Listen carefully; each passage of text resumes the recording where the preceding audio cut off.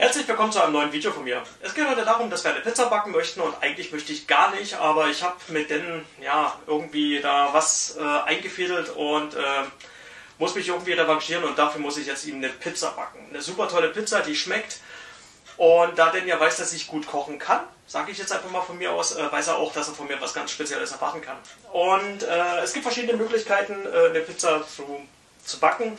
Man kann einmal den Teig selber machen, alles selber vorbereiten, aber das würde mir jetzt alles ein bisschen zu lange dauern.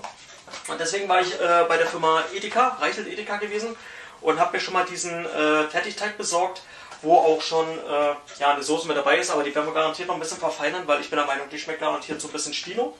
Äh, kostet, äh, ich bin mir nicht sicher, ich glaube 2 Euro oder so. Und ansonsten müssen wir natürlich noch die ganzen Zutaten mit dazu holen. Äh, bei den Zutaten hat man natürlich einen großen Spielraum, da kann man verschiedene Möglichkeiten nehmen, ob es jetzt Paprika ist, Salami, äh, ganz normaler Kochschinken, Thunfisch, äh, Käse, Mozzarella, was weiß ich. Ähm, ich habe mir da so ein paar Sachen geholt und was genau, das zeige ich euch jetzt gleich mal. Also wie gesagt, äh, die Soße haben wir schon mit dazu, die werden wir noch verfeinern. Dann habe ich zweimal den Teig geholt, um das äh, Blech, was ich hier habe, richtig voll zu kriegen. Ansonsten habe ich noch Frühlingszwiebeln Paprika in äh, drei verschiedenen Farben, also die äh, herbe und dann zweimal die etwas süßere. Dann schöne große Zwiebeln, ja, ganz lecker. Die sind nicht so scharf, sehr süß, sind ganz lecker. Ansonsten äh, zweimal Thunfisch.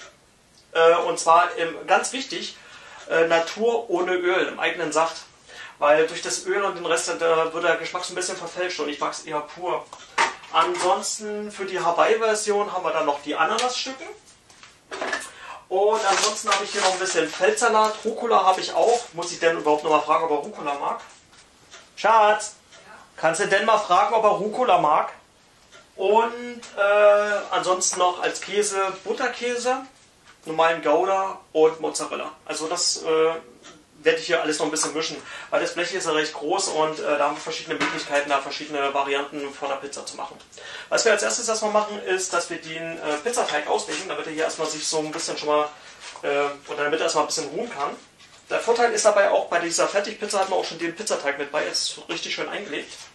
Und äh, was ich ganz wichtig finde ist, dass wir, weil wir wollen das ja ordentlich machen und sauber, dass wir Handschuhe tragen, Gummihandschuhe weil würde ich es für mich selber machen, wäre es egal, weil ich würde das ja auch selber essen, klar.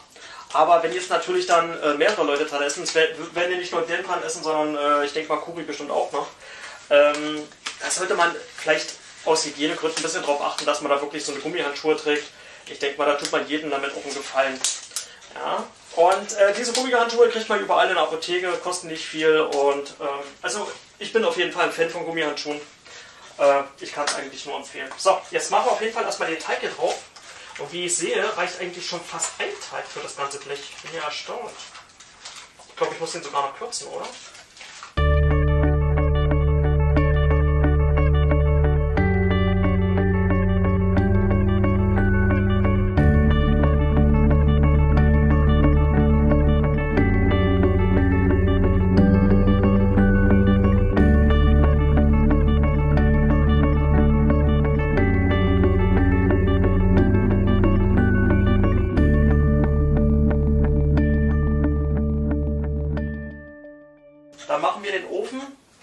Mal an.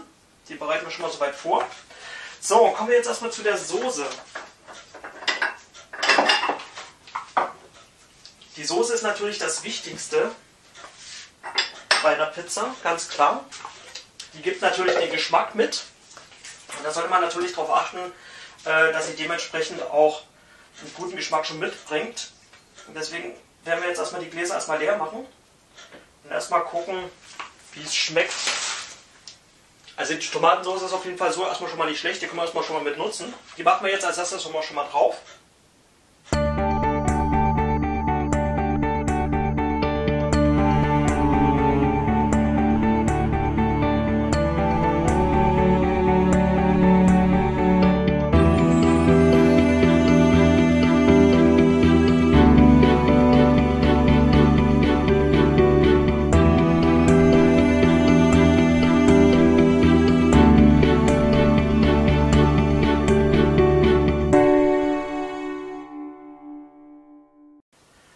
aus.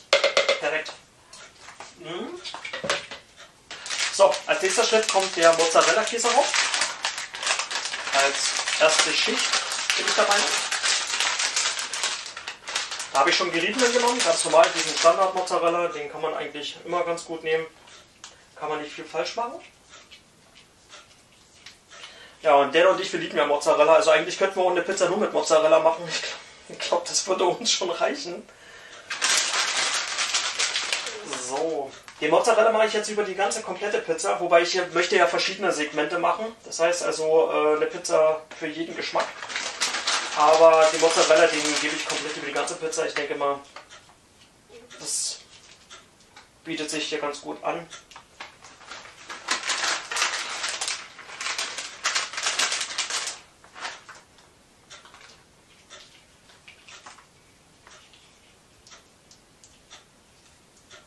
So. Na, das sieht doch schon mal echt super aus, finde ich. Ja? So. so. Das schauen wir noch so rüber. Da, fertig.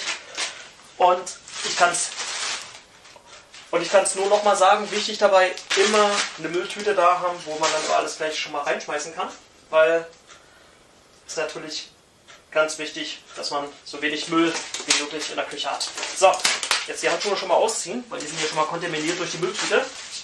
So, kommen wir jetzt zu den Zutaten, äh, die wir jetzt auf die Pizza drauf machen. Äh, ich habe da verschiedene Varianten. Ich habe äh, unter anderem ganz normale her herkömmliche Salami.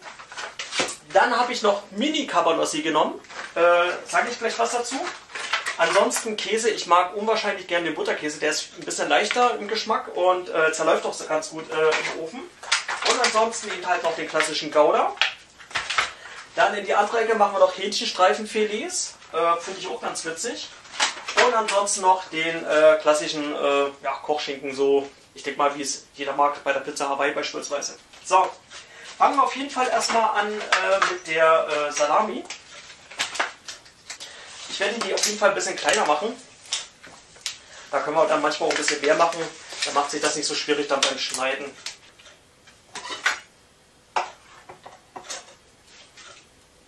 Und am besten hier so in so leichte Dreiecke. So, und dann fangen wir schon mal an, das hier so ein bisschen zu belegen.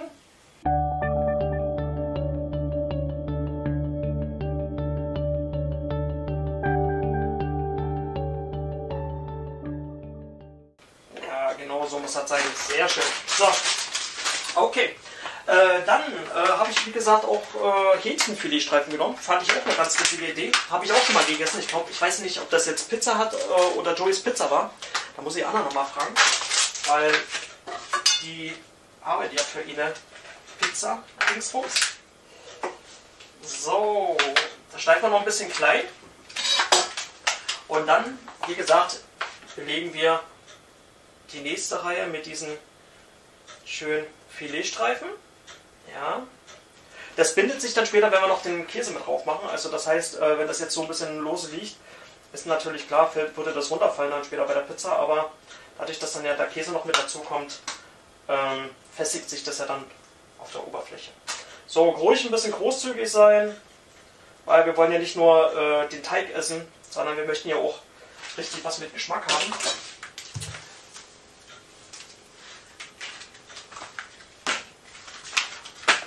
Und deswegen ist es immer wichtig, da ruhig ein bisschen großzügig sein, lieber ein bisschen mehr machen.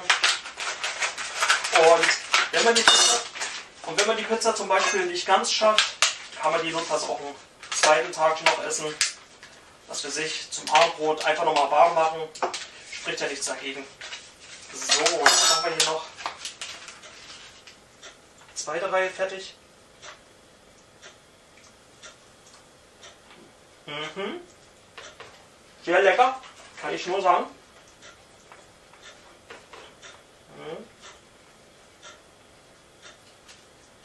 Könnte jetzt auch sein, dass ich vielleicht ein bisschen übertreibe, wie ich gerade sehe.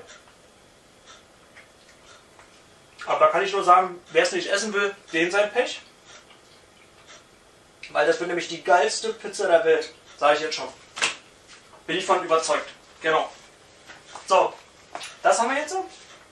Ähm, dann machen wir noch eine Reihe äh, so ein bisschen mit Thunfisch hier. Und dann ganz außen machen wir, was wollte ich dir noch? Die Mini Cabanossi. Bei den Mini Cabanossi ist es natürlich, ähm, die sind, wo habe ich die? Hier. Die sind natürlich äh, so am Stück. So am Stück kann man die natürlich nicht drauf machen. Die müssen wir natürlich noch ein bisschen klein schneiden. Aber der Vorteil ist bei den Mini Cabanossi, die haben einen sehr guten eigenen Geschmack. Und ähm, wobei den Thunfisch lassen wir weg. Ich glaube, wir machen jetzt erstmal die Mini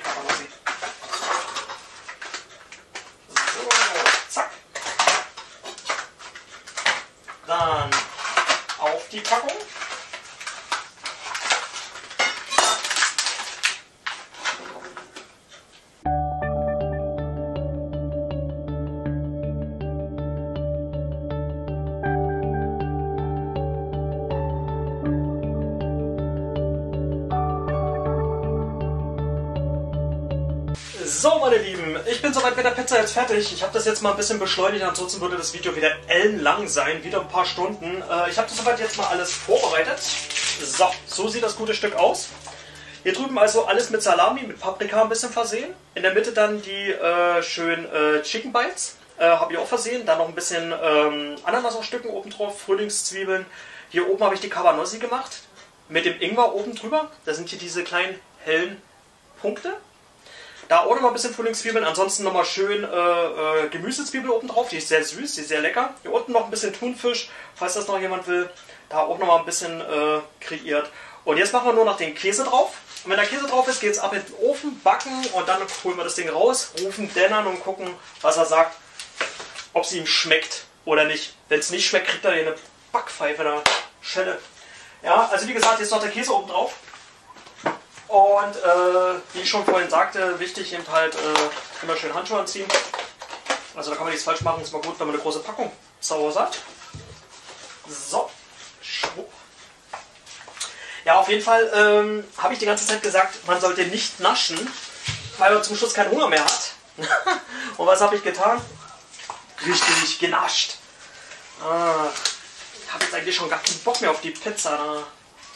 Wobei, aber wenn ich mir die so angucke, also essen werde ich es auf jeden Fall. Definitiv. Das ist, glaube ich, meine beste Pizza, die ich je gemacht habe. So.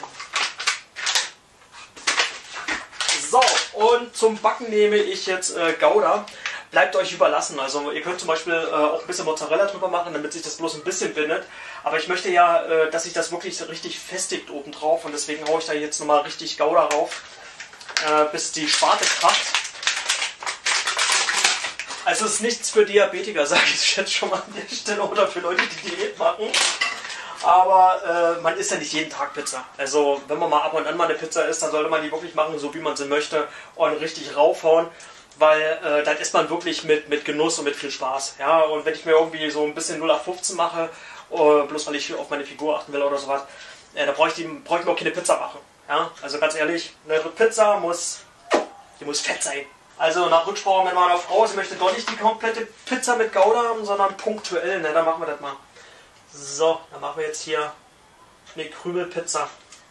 Das heißt, äh, immer kleine Stücken nehmen und die dann immer schön aneinander. Da vergleicht sich, da vergleicht sich, äh, da verbindet sich das dann ein bisschen gleichmäßig und geht auch so ein bisschen in die Fugen rein. So, man kann natürlich auch Butterkäse nehmen in dem Fall, aber da ist der Nachteil, der Butterkäse zerläuft sehr schnell. Der ist zwar sehr mild im Geschmack, aber äh, der Nachteil eben halt läuft sehr, äh, zerläuft sehr schnell. Das heißt, ihr müsst die Pizza vorher erstmal ohne den Butterkäse reinmachen, die Pizza erstmal so ein bisschen backen lassen und den Butterkäse ganz zum Schluss, bevor ihr es rausnehmen wollt, äh, damit dann der Käse natürlich dann gleichmäßig verläuft und nicht dann äh, vorher schon komplett zerlaufen ist oder verbrannt ist. Das ist jetzt natürlich wieder eine Sache, die zieht sich jetzt ein bisschen durch, weil das Belegen von dem großen Blech ist nicht gerade gerade wenig mit dem Käse. Das dauert natürlich noch ein bisschen. Bei der Gelegenheit könnt ihr mir mal sagen, äh, ob ihr selber auch schon mal Pizza gebacken habt. Habt ihr selber mal Pizza gebacken oder euch das schon mal vorgenommen? Und äh, wenn ihr die schon mal selber gebacken habt, macht ihr den Teig selber oder holt ihr auch Fertigteig? Also das würde mich ja mal interessieren.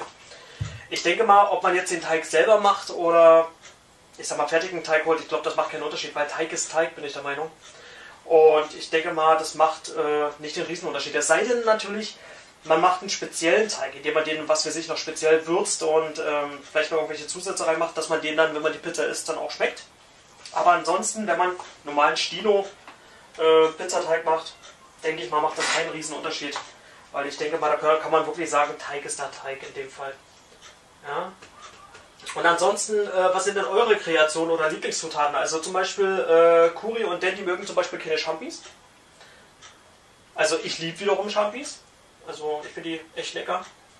Und aber zum Beispiel ist auch mit Rucola so. Also Rucola ist immer so eine Sache, raufmachen, ja, nein. Da muss man auch so ein bisschen Fan sein. Ich, also ich mag Rucola. Ist zwar auch nicht jedermanns Geschmack, aber äh, Rucola hat irgendwie, ähm, das kann man irgendwie nicht, kann man nicht beschreiben. Ne? Hat irgendwie einen komischen Geschmack, aber es ist trotzdem irgendwie ein annehmbarer Geschmack, der äh, gewisse Speisen doch irgendwie da außergewöhnlich macht. Also wieder, ich weiß nicht, so ein bisschen hebt im Geschmack. Und aber ich habe schon erlebt, also Rucola ist ja auch nicht unbedingt jedermanns Geschmack. Also weiß zwar nicht warum, aber naja, ist so. Und das Schlimme ist, Rucola schmeckt man überall raus. Genauso wie Basilikum oder Koriander.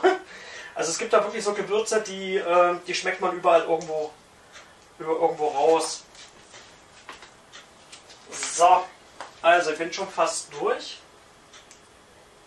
Auch wie gesagt, ruhig ein bisschen großzügig sein, weil die Pizza, die soll ja wirklich schmecken. Und da kann man, wie gesagt, gerne mal ein bisschen großzügiger sein. Ich habe in der Zwischenzeit den Ofen auch schon vorgeheizt, äh, damit er natürlich schon richtig schön Energie, richtig Wärme hat. Äh, damit die Pizza, wenn wir sie jetzt reinmachen, damit die gleich richtig loslegen kann. Äh, laut dem Zettel, also 15 bis 20 Minuten mit dem Teig. Also ich denke mal, das ist realistisch. Hat eigentlich so jede Pizza. Ich habe die jetzt bei, äh, ich lasse die jetzt ungefähr bei, hm, ich sag mal 220, 230 Grad ungefähr. Deswegen, damit die äh, gleich richtig Bums bekommt. Und werde dann natürlich dann ab und zu zwischendurch gucken und gegebenenfalls, falls sie dann schon gut durch ist, dann auch schon früher rausnehmen. So. Okay. So. Ich würde sagen, sehr geil. Also so sieht sie jetzt aus. Also muss ich so machen, damit ihr es auch seht. Äh, Käse ist drauf. Wie gesagt, kommt jetzt in den Backofen und äh, wenn sie dann fertig ist und raus, äh, rauskommt, dann zeige ich es euch nochmal. Dann holen wir den. Dann muss er die probieren und dann werden wir sehen, ob es seinen Zweck erfüllt hat oder nicht. So, also ich habe die Pizza jetzt rausgeholt. Äh, wie ihr sehen könnt, äh, fehlt hier schon etwas. Kuri hat schon zugeschlagen und zwar die Thunfisch- und die Hähnchenstreifen-Variante. Die Hähnchenstreifen-Variante fandest du nicht so? Also mhm. nichts, nichts sagend? Nicht sagen. Nicht sagen? Okay, gut. Ich hatte auch nicht weiter gewürzt gehabt. Ansonsten die Thunfisch-Variante war? Klasse. War klasse, super. Ähm, wie ich schon sagte, also Thunfisch immer darauf achten, am besten im eigenen Saft, nicht mit Öl oder mit dem Gemüse zusetzen oder mit Sonnenblumenöl und sonstigen, sondern wirklich im eigenen Saft und dann kommt wirklich der Geschmack auch am besten raus. Auf jeden Fall, äh, ich habe Dan Bescheid gesagt, vor 20 Minuten äh, oder vor einer halben Stunde, dass die Pizza fertig ist. Er meinte, 20 Minuten kommt er. Ja, 20 Minuten, so rum ist mir jetzt scheißegal. Ich esse jetzt auf jeden Fall die Pizza. Wenn er Pech hat, hat er, bleibt nichts mehr übrig. Sein Pech, ich meins. Und dich hatte ja jetzt die Variante mit dem Ingwer interessiert, ne? Ja. Magst du probieren? Probieren? Ja. ja. Also die Ingwer-Variante ist nämlich hier oben.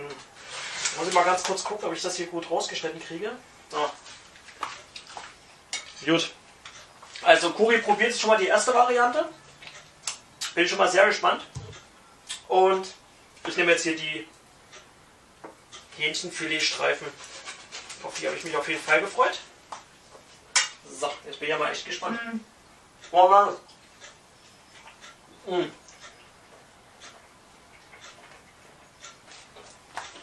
Mm. Mm.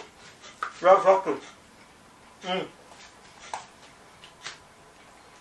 Die mit der Cavanossi hm? ist mir einfach zu fett, zu schwer, mhm. zu mächtig. Ist nicht mein Ding. Schmeckt aber den Ingwer? Ja, den schmeckt man. Schmeckt der Ingwer gut? Der Ingwer ist gut. Ja? Mhm. ja. Aber mhm. nicht in der Kombi. Okay. Mhm. Passt also nicht mit der Salami oder mit der Cavanossi oder was auch immer du da genommen hast. Ich muss mal runterkommen. Also, Also erstmal vorweg, das was ich jetzt gegessen habe, total lecker. Die Pizza ist richtig schön saftig. Äh, mit den Frühlingszwiebeln und äh, mit der Ananas keine Kombination. Also meine Frau sagt mir gerade, ich habe mal die Hälfte im Gesicht hängen. Danke, Schatz. Also wie gesagt, eine sehr gute Kombination. Kuri hatte ich jetzt die Variante mit der Cabanossi mit dem Ingwer äh, gegeben und äh, dein Fazit war gewesen, Passt nicht. passt nicht. Klar, ne, ich denke mal, das liegt bestimmt auch ein bisschen daran. Die Cabanossi halt so kräftig würzig. Ich denke mal, der Ingwer passt eher zu was, was leichten Kochschinken hätte eher gepasst, denke ich mal. Oder zu den Hähnchenstreifen vielleicht noch. Ne? Ja. Na gut, okay, lernt man draus. Auf jeden Fall, wir werden gleich noch gucken, äh, sofern Dan irgendwann hier aufschlägt, äh, ob er den Ingwer rausschmeckt. Ähm, also, Dan ist jetzt da, ich habe die Pizza jetzt fertig. Probier jetzt friss oder stirb. So, warte mal. Äh, Welche ist jetzt? na, alles. Also, äh, Ist alles für mich? Ist alles für dich, natürlich. Also. Also, das ist mit Cabanossi, das ist mit äh, Hähnchenstreifen und das ist mit Salami.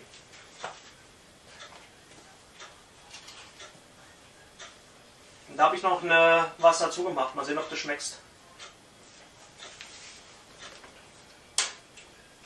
Merkst du? Ne, Ja, das auch, aber das ist noch was anderes. Merkst du das? Mhm, Ingwer. Und?